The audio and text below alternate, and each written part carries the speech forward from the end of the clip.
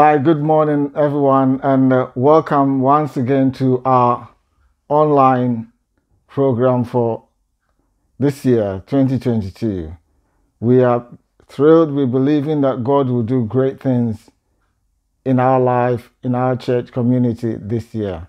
But it's great to have you. It's great to have you join us to worship God this morning. So let's pray. Father, we pray that as we enter into your worship, as we gather today, your presence will be here and that you help us to know more about you, get close to you.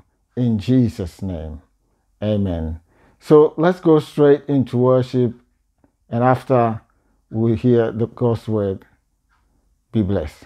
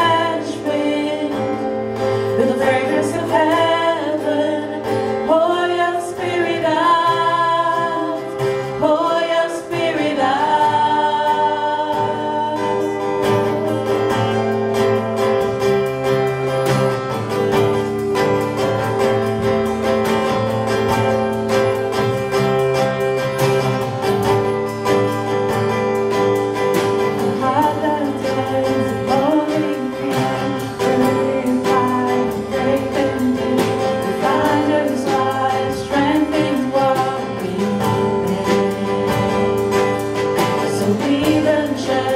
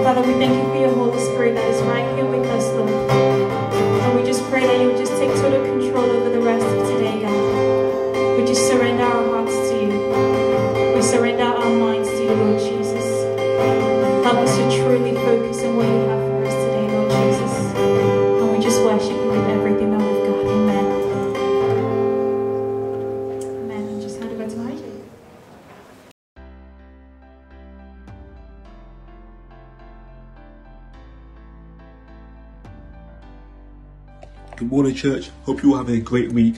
Michael here, and today I'm going to be giving you guys the church news. Thank you for coming this morning to worship with us. Uh, we're part of the Assemblies of God, and we meet every single week at 10 a.m., either online or in person. we love to have you watching this, but if you want to see what a typical Sunday looks like, then please head to our campus now and just fellowship with us uh, in person. So not a lot of church news, just one point.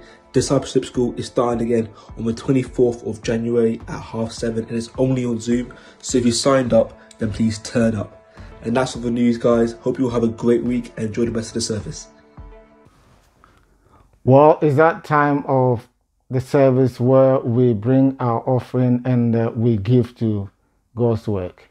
Now, giving to God's work, giving our offering really is buying into what God is doing and being a part of what God is doing to to reach out to the world, to reach out to our community and the world around us and and to support God's work. So as we give, let's give knowing that we are telling God, thank you for all you've done for us. And what you've done for us, we want others to hear. So once I finish speaking, the various means by which we give will come on the screen and you can use any of them. And uh, I pray that as you give, God Himself would show favor to you. In Jesus' name. Amen.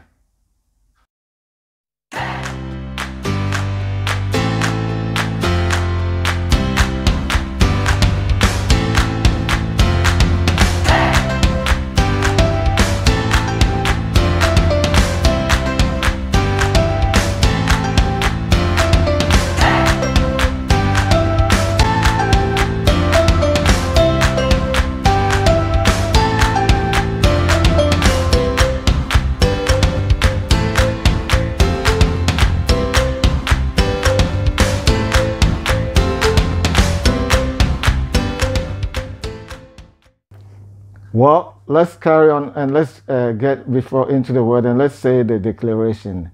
I declare today that I'm ready to hear from God. I'm tuning my heart into His word.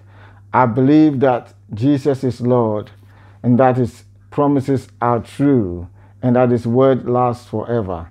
I believe that what I hear today could change my life because my best days are yet to come. In Jesus' name. Amen. Hi, everybody. Uh, you know, it's once again great to bring God's word to you.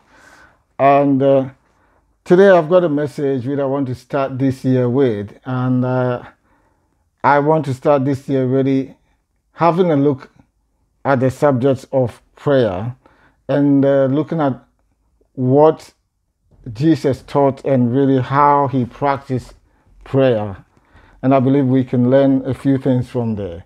I've entitled my message, uh, When Jesus Prayed.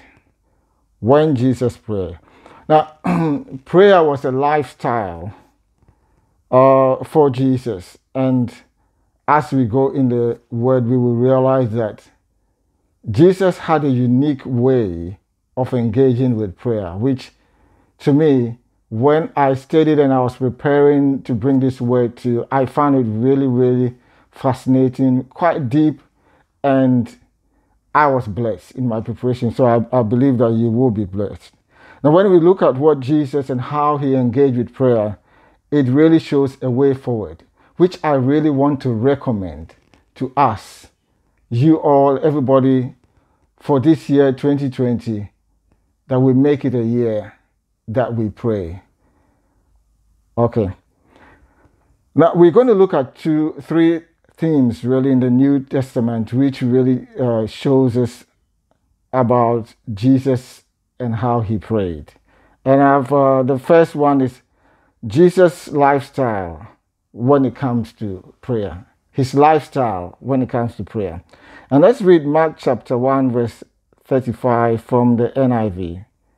Now, very early in the morning, whilst it was still dark, Jesus got up, left the house, and went off to a solitary place where he prayed. Where he prayed.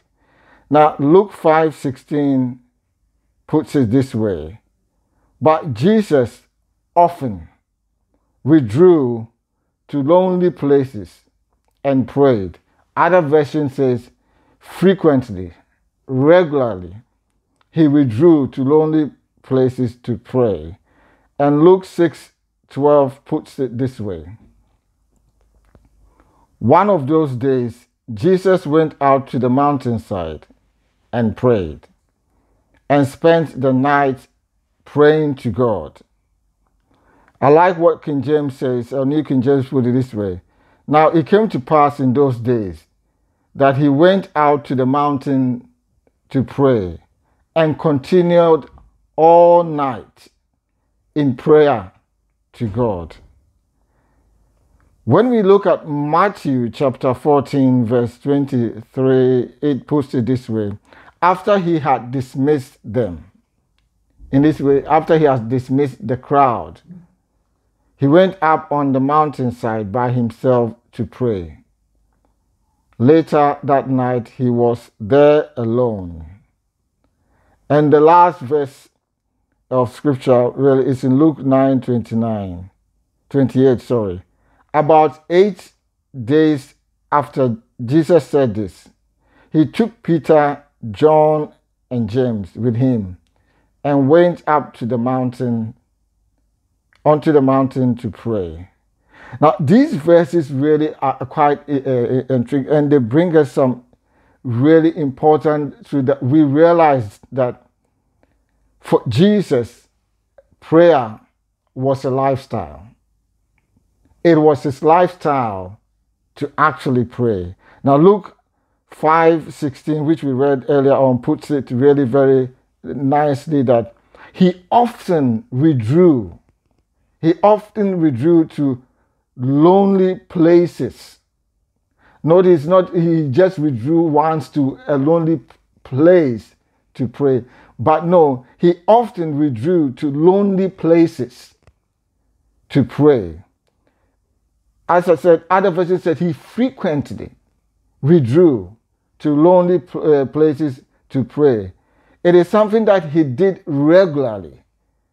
Regular, it was a regular occurrence, a regular practice for Jesus to every now and then withdraw to places to pray. Church, our Savior was a man of prayer. Our Redeemer was a man of prayer. If you want to sum one of the characters of Jesus, it will be this man was defined or, or was a man who prayed, and he prayed a lot. The Mark version says that very early in the morning, very early in the whilst it was still dark, he got up from the house, went to a solitary place where he prayed. Now, for many, many years of my early Christian uh, life, this was one of my motto, a great while before day. That was the King James. A great while before day. Jesus got up and went to a place and prayed. And I, I remember always telling my wife, a little sleep, a little slumber, and then poverty will overtake you because Jesus always got up and prayed. So I made it a point to get up and pray and obviously disturbing everyone in my house. But Jesus didn't do that. He actually got out and went somewhere to pray. And I asked myself, why? because he didn't want to be disturbed. His time with God was so precious, he did not want to be disturbed. He didn't want anyone to bash in the door when he's praying. He didn't want, uh, you know, to make uh, be praying and possibly praying out loud, and then someone saying you are disturbing. Can you find somewhere else to go?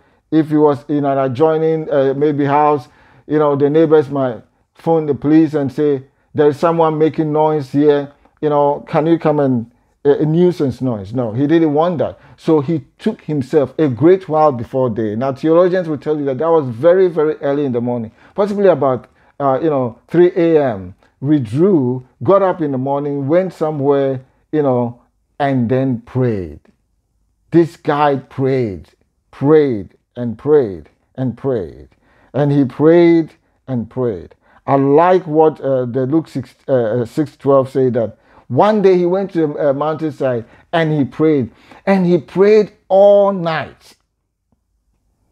I always wonder why would he pray all night? Praying all night, spend time praying to God. Praying to God. Spending all night in prayer. You might say, well, but this was the Son of God. Yes, Jesus was the Son of God, all right.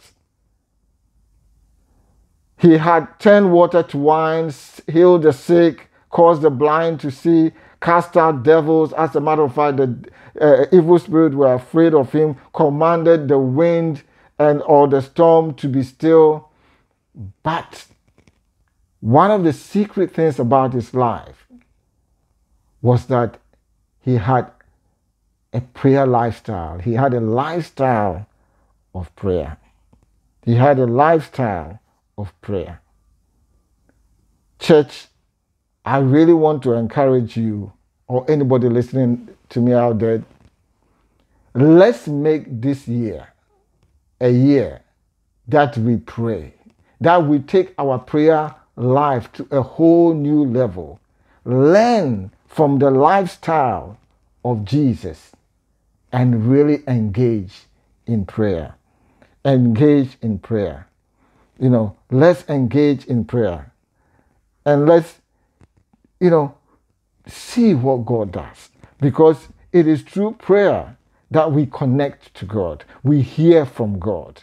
We get strength from God. We get direction from God. We get answers from God. It is through prayer that we begin to seek first the kingdom of God. And all other things are then added to us later. Jesus had a lifestyle of prayer and he did not compromise when it came to prayer. He did not compromise when it came to prayer. He did not really water down prayer. He did not let the world around him and the things around him and events happening around him influence or affect his prayer life. No. He made time to move away to places to pray. He did not let any distraction, work or ministry work or anything whatsoever, distract him. Because he knew his time with God was so precious. Because there he is empowered, he is equipped, he hears from God, he hears the direction that at times we so want. What must I do? What do I need? Go to God in prayer. Go to God in prayer. If our Savior did it, He set an example for us, then we have to do and follow in His uh, footsteps.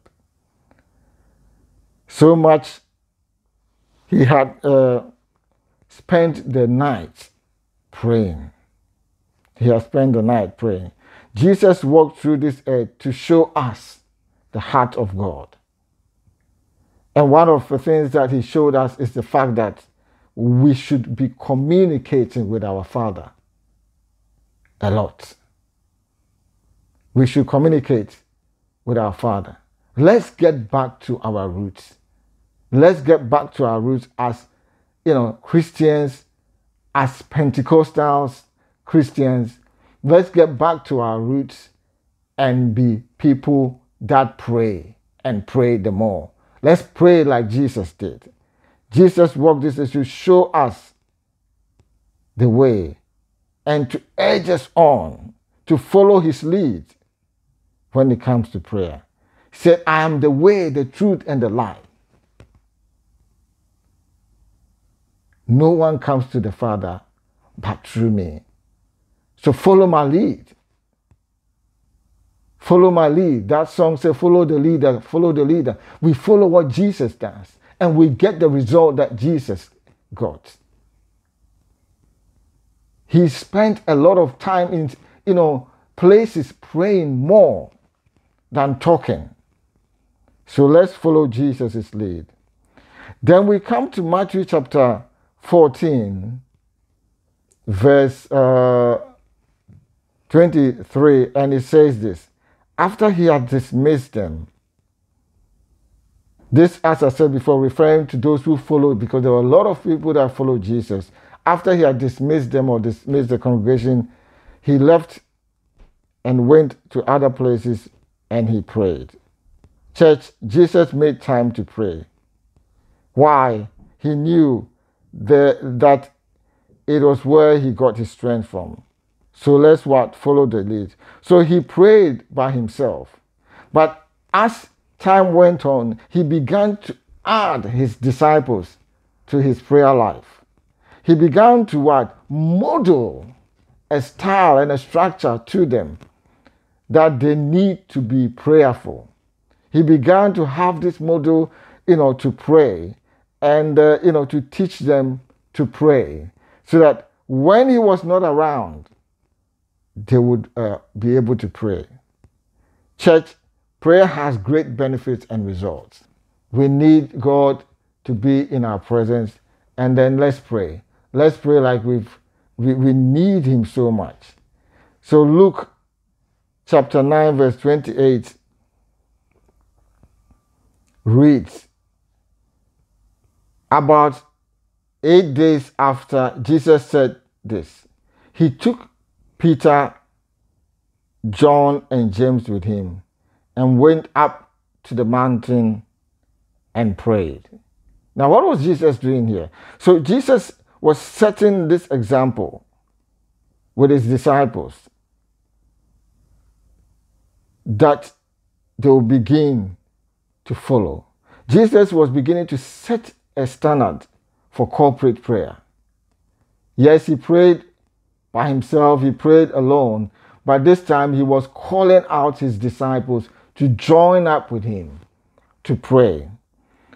So he was setting up a standard for corporate prayer that yes, you pray on your own, but we must pray together, which will become a powerful force for the disciples when he was taken up or he went to heaven. And they also carried on in prayer. So, as a church, let us learn from Jesus' lifestyle that we must gather together to pray. Let's take advantage of the opportunity that is created or, uh, by our senior pastor, the means that he puts in place for us to come together and pray. Yes, we are in the pandemic, but we have got means that we bring us together to pray. We have our online prayer time. Join in. Join in to pray. When there's an in uh, person prayer, let us gather and join in to pray. And uh, you know, friends can form groups, uh, uh, prayer groups to pray regularly. And husband and wife can be a formidable team to uh, meet and pray together. And uh, you know, connect groups which we have in our church can be means and tools where we can meet and pray together. The scripture really says somewhere that if my people who are called by my name will humble themselves and pray, I will hear from heaven and I would heal their land. Church, our land needs healing and it will be healed through prayer. Let's meet together and let's pray. Let's pray. Then, number two, we get into the mindset of Jesus when it comes to prayer. Let's get into the mindset uh, uh, and see the mindset of Jesus. Now, now, as I said before, now Jesus never really compromised when it comes to prayer. He doesn't really water it down. He doesn't make it, you know, something, you know, prayer meant something to him and he really never joked about it. And we will see it in, uh, you know, these two verses. Matthew 21, verse 12.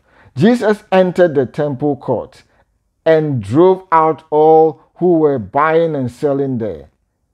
He overturned the tables of the money changers and the benches of those selling uh, doves. Verse uh, 13 says, And it is written, he said, My house will be called a house of prayer. But you have making it, or you are making it a den of robbers.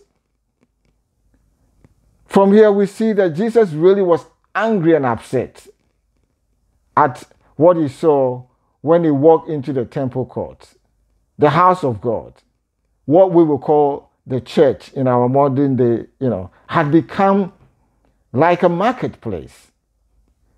He's, so you probably said, What? What is happening here?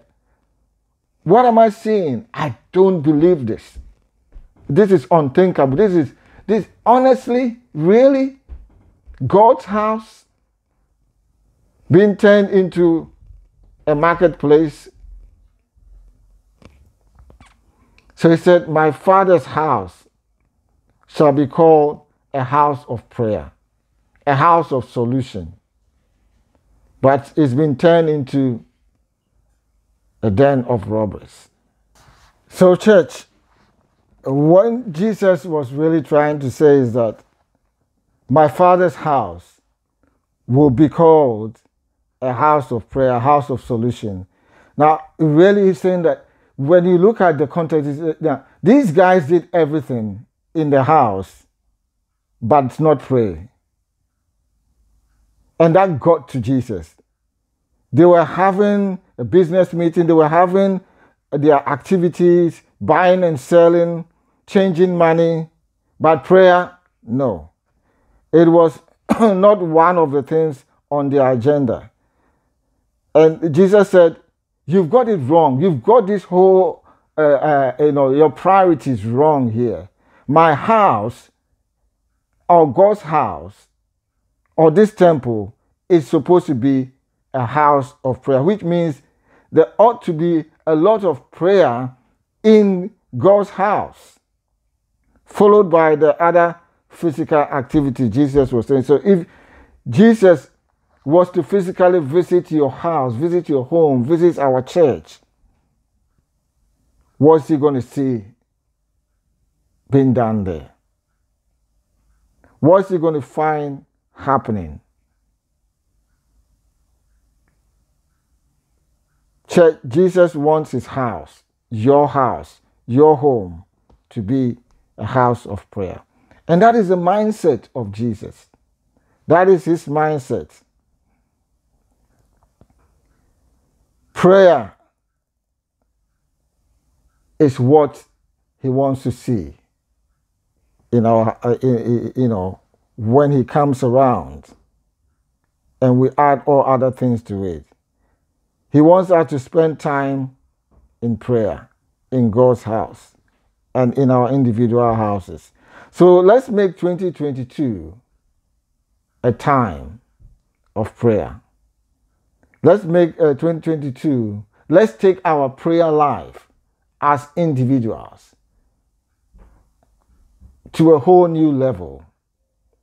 And let's move our church because it's the people that make the church and take our prayer sections and uh, events and times of prayer to a whole new level. And uh, that is why the songwriter says this Oh, what peace we often forfeit. Oh, what needless pain we bear. All, all because we do not carry everything to God in prayer. and let prayer be our bedrock. Church, let prayer be at the center of whatever we plan to do this year. Let prayer be what you do. You see, in all our ways, let's acknowledge Him through prayer and He will direct our path. Shall we pray? Father, we just want to thank you for this word that we've heard. I pray that, Lord, we will be go, uh, go and become doers of your word. Help us to implement this. Help us to, to make time to seek your face. And let this year be a great year. Let us encounter you. Take us forward in whatever we do. Let us know you more and more. And as we spend time to pray, reveal yourself to us. I pray in Jesus' name. I pray that if you're out there and you are hearing this word and you don't know about Christ, why don't you just uh, pray with me that invite Him to come into your life? Just pray a simple prayer and say, Heavenly Father, I've heard this word. I believe in your word. I believe in the finished work of Jesus on the cross for me and I yield my life to you completely. Wash me with his blood. Today, I give myself to you. In Jesus' name, amen. I want to pray that you have a wonderful week and have a wonderful month and indeed have a wonderful year. God be with you in whatever you do. In Jesus' name, amen.